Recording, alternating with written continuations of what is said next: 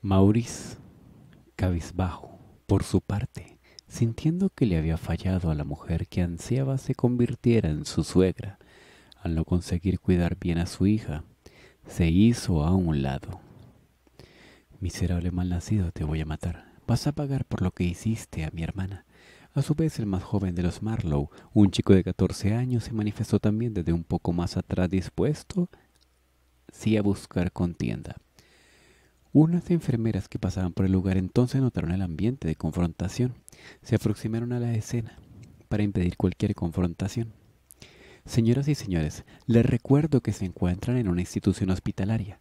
Tengan la bondad de tal modo de cualquier indiferencia resolverla afuera. Se les agradece. Indicó de manera estricta la de más edad y por lo visto mayor experimentada de ellas. La mayoría de los presentes acataron las palabras, pero no así la señora Marlowe, quien se opuso a salir sin antes concluir todo lo que tenía que decirle a quien desgraciara a su hija. Escúcheme bien. Le has arruinado la vida a Susana, y ahora si de verdad eres el hombre honorable que crees ser, te responsabilizarás por tu inmoral acción y te harás cargo de ella así como del retoño que lleva en tu vientre. Se lo debes. Es tu obligación casarte con ella. Resignado te reafrontará el destino que le advendría recordando el caballero inglés que siempre se había dicho era, sin protestar ante el montón de insultos, simplemente despacio decidió retirarse. Mientras caminaba lo único que ocupaba su cabeza era como en un rato de locura había botado su sueño de una vida feliz junto a Candy, por el que tanto trabajara, a la basura. Irremediablemente con esto perdiéndola. No podía sentirse más desventurado. Era como si de arriba le estuviesen cobrando de golpe todos los deslices que cometiera desde su temprana juventud. Terius, ¿a dónde vas? Maurice demandó saber, en parte con coraje por ver cómo prefería alejarse dejando la caldeada escena atrás, pero al igual un tanto preocupado por verlo en tal estado de conmoción. Incapaz de volverse, el castaño continuó caminando hacia la salida y únicamente se detuvo en el umbral para dejar algo en claro. Yo no niego mis responsabilidades, afirmó fuerte y conciso, mas lo que tenga que afrontar lo haré en su debido momento. Buenas noches. Con ello abandonó el lugar, y poco después de su inusual despedida, que dejó atrariados y asombrados a todos por el aplomo que demostrara aún en medio de su notorio calvario interior, el director se les unió apresurado. ¿Dónde está Granchester? ¿Lo han visto? Consultó enseguida, impaciencia advirtiéndose un poco angustiado. No ha dejado en claro su intención de abandonar la obra, ¿o sí? Acaba de irse, pero no ha dicho nada al respecto. Karen, que era la única allí, parecía no haber perdido los estribos, respondió. eso es un alivio. De ese muchacho depende en gran parte el éxito de nuestro espectáculo. El señor Stranford no se lo guardó. Pasando por alto que tal comentario no le agradaría a sus dos jóvenes actores también ahí presentes, sin embargo, pronto les hizo partícipes de una resolución que, desvió al instante la atención de la primera acotación por lo sorpresiva que resultó. Por cierto, señorita Klein, desde mañana comenzaremos los ensayos con usted interpretando el papel de Julieta. Por favor, vaya preparándose para ello.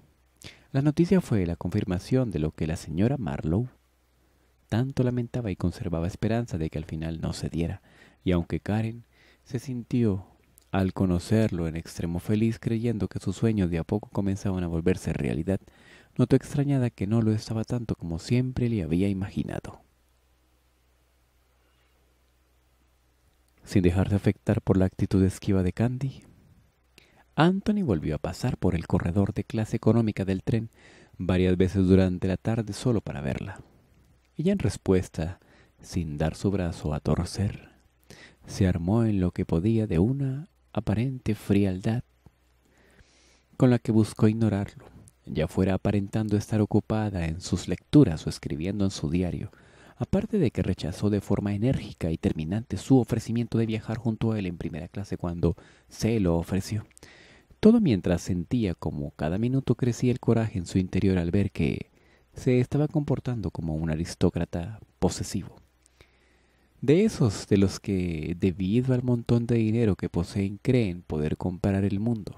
Al final del día, y ya muchos kilómetros lejos de Chicago, sin embargo, en tanto observaba desde la ventana de su asiento el ocaso en sus nubes ambarinas y violáceas. En el horizonte llegó la conclusión de que no quería pasar lo que restaba del trayecto enojada con él. Así que en medio de su creciente fatiga, debido a tantas diversas emociones que desde temprano viviera, decidió que el amanecer bajaría su autodefensa y le concedería la oportunidad de conversar que tanto le pedía. El sueño le alcanzó en algún momento de la noche. No mucho después de merendarse los deliciosos dulces de la cafetería de la clase acomodada que él le llevara al hacerse presente a su vagón, por última vez ese día gentil, gesto con el que consiguió nuevamente sorprenderla y que terminó de aplacar su inusual mal genio, hasta hacerle aceptar al final con gratitud el detalle. Lo que jamás imaginó fue que aquella pequeña sorpresa no sería la última que le daría. La extraña comodidad para a una común butaca de ferrocarril le hizo despacio al salir de su retargo darse cuenta de que algo en cuanto dormía había cambiado. Se incorporó entonces sobresaltada percatándose de súbito que se hallaba en un cómodo catre, en un compartimento que no conocía y su maleta a un lado sobre otra angosta cama, como si le hubiese dado un salto en el tiempo y no recordase la manera en que había llegado allí. Más el inconfundible abrigo largo de Anthony, colgando en su perchero en una esquina, le permitió conocer que en realidad no se encontraba tan lejos de donde se durmiera. Apartó rápidamente así de su cuerpo el edredón con el que se diera la atribución de arroparla y levantándose así, casi de un brinco, fue a abrir la portezuela en busca de la corroboración, una corroboración a sus teorías. Corroboración a sus teorías. El lujoso pasillo que descubrió de tal forma ante sus ojos le confirmó que había sido cambiada sin su consentimiento a primera clase. Al llegar a estar consciente de aquello por unos instantes le hizo bufar de la rabia, pues había sido demasiado el atrevimiento.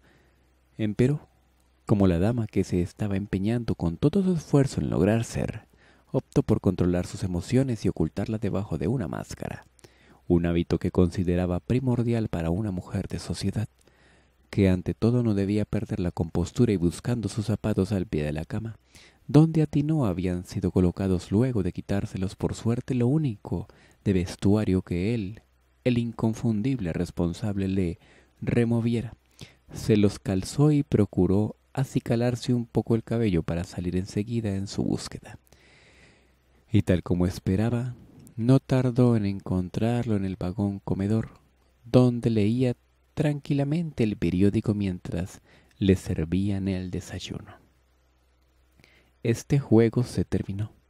Le encaró de entrada en lugar de saludarlo parándose frente a él y apoyándose las manos sobre la mesa. Esta vez sí, sin medirse de levantar la voz y ocasionar que varias personas situadas en derredor voltearan a mirar. Ya has llegado muy lejos. ¿Qué pretendes? Llevada por la indignación le reclamó a Anthony, solo sonrió por todo, dándosele cuánto gozaba de despertar su ira. Buenos días, Candy. ¿Dormiste bien? Profirió para molestarla. Te veías tan cansada que no quise despertarte. Es más, iba a llevarte el desayuno, pero ya que estás aquí, ¿por qué no te sientas? Dejando el diario a un lado, le mostró entonces el asiento en una cordial invitación a servirse el primer alimento del día junto a él. Deja de bromear. Quiero saber cómo lo conseguiste. ¿Es que acaso... acaso... me drogaste? Con cierto temblor en la voz producto de temor se atrevió a preguntarle. Te cargué mis brazos si es que te refieres a cómo logré traerte aquí. No iba a dejar que nadie más te toque.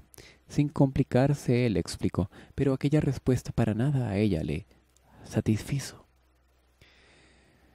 No hablo de eso, yo jamás tengo un sueño tan pesado. Reclamó con los ojos brillosos por sentirse injuriada. Bien. Le pedí al cocinero que añadiera sus cuantas gotas de valeriana en tus cupcakes, admitió Anthony. Así, para no alargar el problema. Lucías ayer tan estresada que consideré te ayudaría a descansar. ¿Consideraste? ¿Consideraste? Pero, ¿con qué derecho crees poder tomar decisiones en mi vida? Opetó Candy, a cada instante más asombrada. Esto es un total abuso de confianza. Ni siquiera eres... ¿Quién? ¿Tu esposo? ¿Tu marido? Con sarcasmo preguntó el joven rubio, pues te recuerdo que hace un par de años iba a hacerlo. Y en esta ocasión fue él el que no se midió, provocando que ella, presa de un feroz sonrojo, tuviera que sentarse de inmediato mientras se colocaba un mochón de cabello detrás de la oreja. ¡Un mechón! Ofuscada. ¡Qué vergüenza! comentó intentando cubrirse luego con una mano una parte de la cara, para no mirar a los ocupantes de las mesas aledañas, de los que percibían su atención puesta sobre su persona.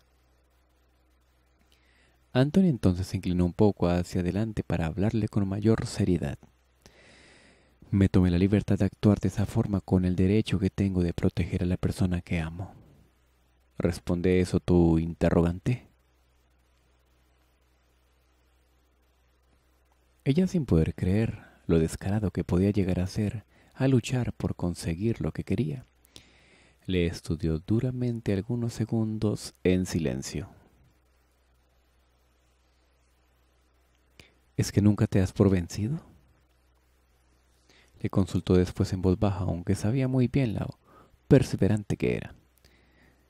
Dime tú que me conoces mejor que nadie contestó él al tiempo que volvía a arrimarse al respaldar de la silla, contemplándola con cariño.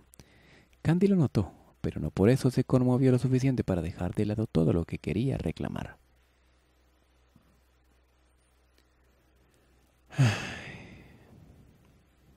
Suspiró de tal modo, entendiendo que no resultaría fácil tratar con él y sus razones, pero prosiguió. Eso es enfermo opinó. No puedes con prepotencia venir a imponerme tu voluntad.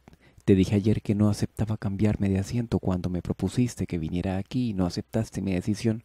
Me transferiste aquí sin mi consentimiento valiéndote de artimañas. ¿Cómo pudiste? Protestó sin poder quedarse tranquila al respecto, sumamente ofendida. Antonio aceptó su cuestionamiento y no tardó en despejarlo. Tuve que hacerlo porque como caballero compañero o amigo, como el paladín que un día juré ser para ti. Es mi deber cuidarte y protegerte, y no permitir que aventures sola en un lugar desconocido. Aclaró con paciencia, no obstante para ella no resultó una excusa convincente. Es ridículo. Yo ya no soy una niña, y además siempre he sido de las que saben cuidarse sola, lo sabes bien. Tuvo que rememorarle. No dudo de ello, pero Aún así insisto en acompañarte. Agregó sin embargo tajante. Sin dar su brazo a torcer, Candy de tal modo se vio obligada a reiterarle ese algo de lo que estaba consciente siempre estaría en desacuerdo, pero que parecía por ratos no tener presente. Además ahora soy una joven comprometida, y no está bien que viaje en compañía de otro hombre que no sea mi novio. Contraatacó. Anthony sintió en tanto masticaba un trozo de su omelette como si lo meditara durante unos instantes. Sí, pero eso no exime el que desee poder revertir eso. Confesó al final levantando una ceja y observándola con intensidad con una actitud de por sí ganadora, al tiempo que optaba por beber otro sorbo de su taza de café sin inmutarse por la tirantez del momento.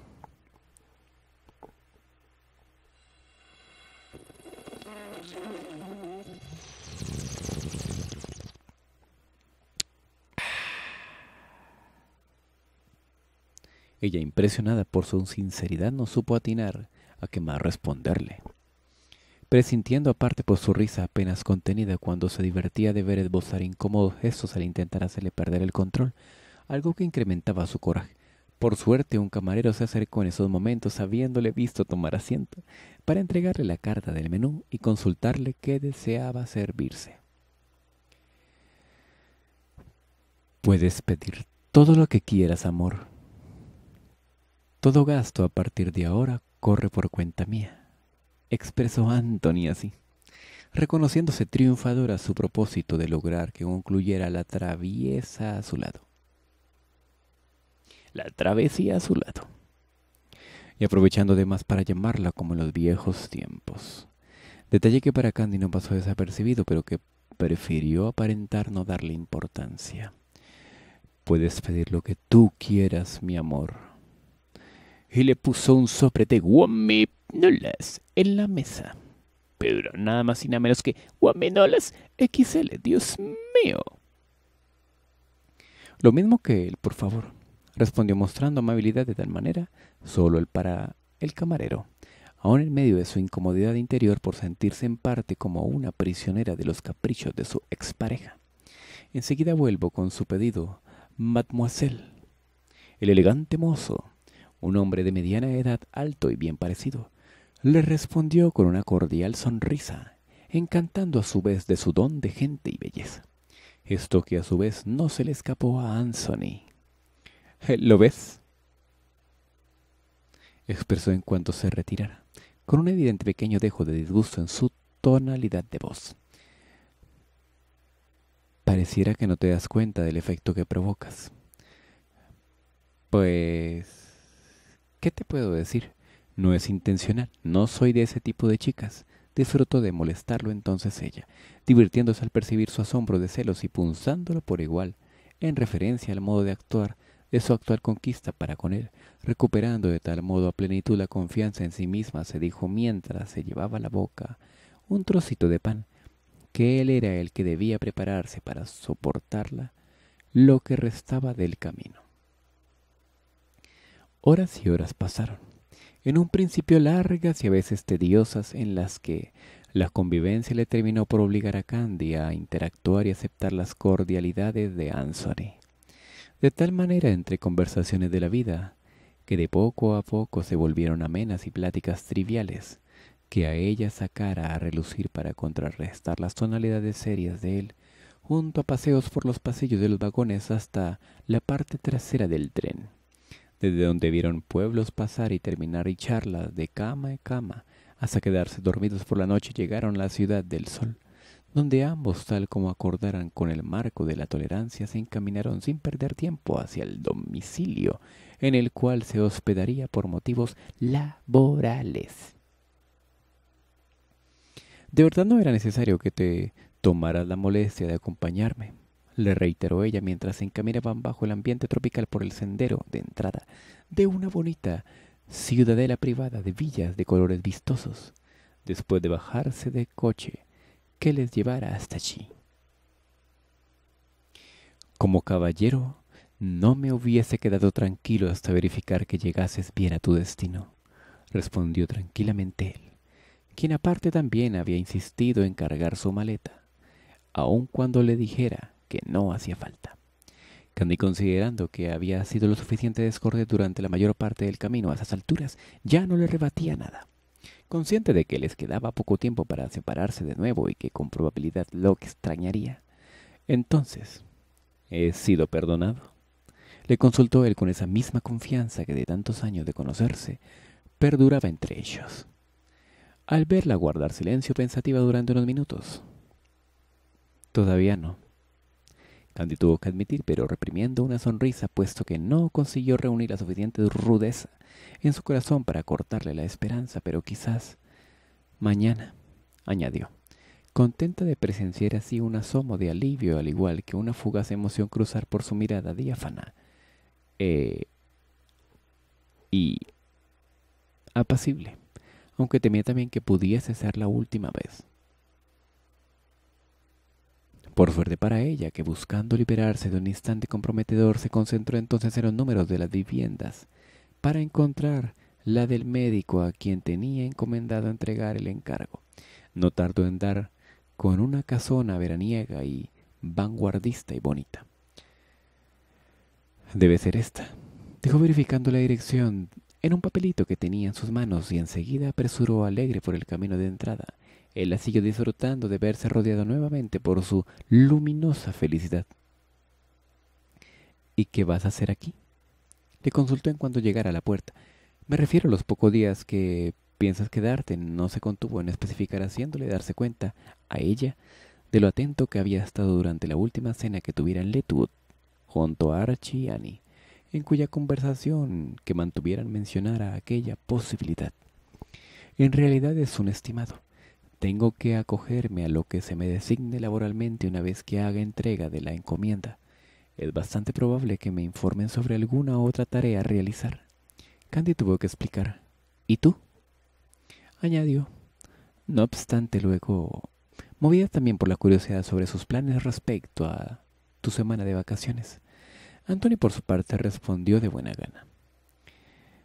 Pienso buscar hospedaje cerca de la costa y algún mercado artesanal para poder conseguir souvenirs que llevar a Baltimore. Claro, entiendo, dijo ella percibiendo como de repente los celos comenzaban a bramar en su interior aunque no lo quisiera, por la simple alusión de Kiki, quien de manera indudable siempre sería alguien a quien escasamente lograría tolerar.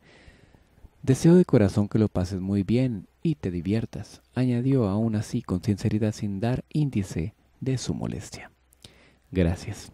Ya lo creo que así será. Esa es una ciudad que siempre he deseado conocer, contestó él llevándose las manos a los bolsillos, aunque creo que todo me agradaría más si tú aceptas salir a pasear conmigo. Es decir, ya que eso también es algo nuevo para ti, esclareció enseguida para no parecer atorrante después de ver su mirada de asombro. Candy impresionada más porque recordaba su anhelo de conocer Florida que le compartiera alguna vez durante los ya muy lejanos días en que se conociera, que por su propuesta tuvo que reunir entonces fuerza de voluntad para proferirle una negativa. Lo siento, no puedo prometerte nada aún, hasta conocer mi itinerario, expresó no queriendo sonar del todo cruel, pero recordándole en especial recordándose que debía anteponer sus asuntos de trabajo a cualquier tentación. Comprendo.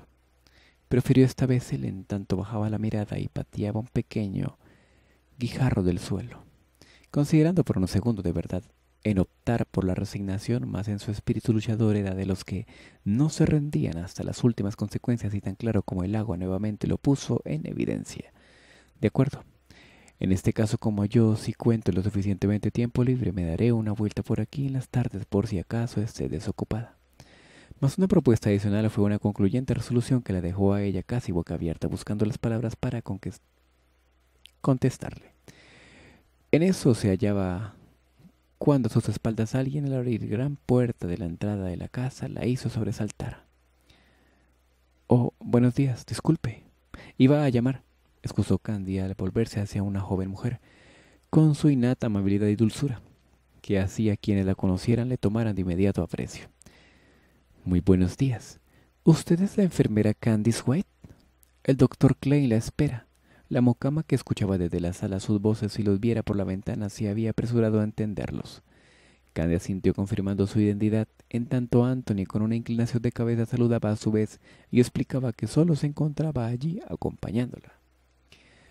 Bueno, no es mi intención importunar, así que me retiro, señoritas. Expresó luego entonces Candy, quedamos en eso. Acordó por último sin dejarle lugar a ella para refutar nada a su breve gesto adicional de estupefacción lo único que le ocasionó a él fue más gracia. Ahora ve, y no hagas esperar más a tus anfitriones, añadió sonriendo encantado de recibir la mirada asesina que, al disimulo, le dijera antes de aproximarse al umbral del portón. A Candy por su lado no le quedó otra que tragarse su enfado por respeto a la mocama que no tenía nada que ver con sus discusiones y observándolo con seriedad para dejarle en claro que no accedería a sus propósitos si no le daba la gana se despidió cortante de él. Gracias por todo, Anthony. Que tengas buen día. Él demostrándole que no le afectaba el ser lanzado por su frialdad, en respuesta realizó para ella una pequeña reverencia de caballero antiguo. De nada. Hasta luego, princesa. Profirió después de media vuelta y se retiró. Candide permaneció observando mientras atravesaba el pequeño sendero del jardín, cruzaba a la vereda de enfrente y luego se le perdía de vista pensando en cómo había sido capaz de ver girar su mundo de cabeza y por lo visto siempre lo haría. Siempre lo llevaría a sus memorias como el bello chico de sus primeras historias de amor. Se advirtió de tal modo de pronto aparte de contrariada también algo triste y nostálgica. Al recapitular de nuevo en ese momento vivido podría tratarse de los últimos que en la vida compartieran y lamentó, por lo tanto, el haber tenido que comportarse de manera tan arisca, arisca, con él, durante la mayor parte del trayecto hasta allí, aunque no por ello dejaba de reconocer que fuera una actitud necesaria para evitar que las cosas se salieran de control moviendo la cabeza para sacudirse de la mente los pensamientos impropios de un joven, una joven comprometida. Se volvió hacia la mucama, que se encontraba aún con paciencia, esperándola y la siguió.